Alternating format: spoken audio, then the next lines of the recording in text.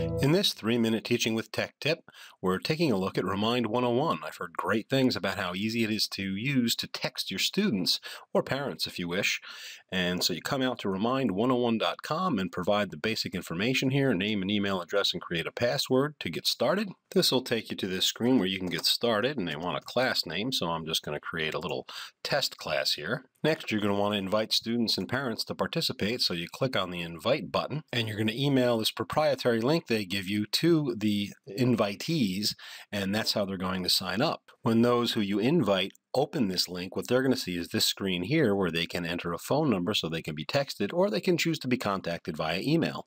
Those who choose to use a phone number and be contacted via text messaging will have to enter a code that will be sent to their phone to validate that it is the correct phone number, and there's a similar process for emails. Once they validate, they'll get one last prompt asking them to enter the full name they wish to be addressed by. It looks like this on their cell phone. After they reply, you'll be all set to text message them, which you can do here on this interface. So for example, here is a test text message and I've got subscribers over here. We can see who they are. I go ahead and I send it and it's going to go to all the subscribers. And here we see an example of a text message as received by a student.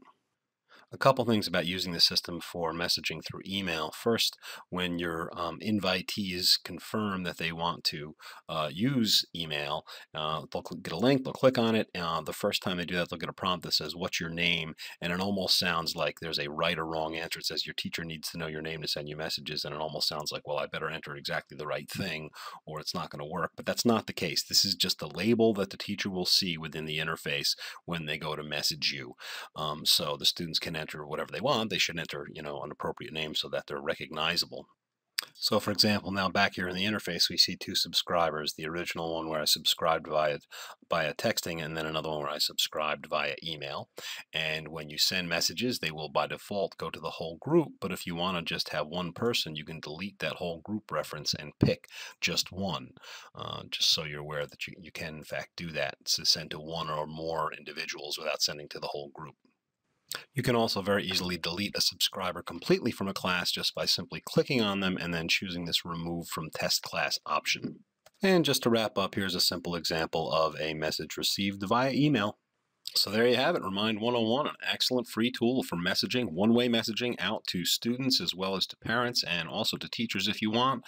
Go ahead and check it out and enjoy.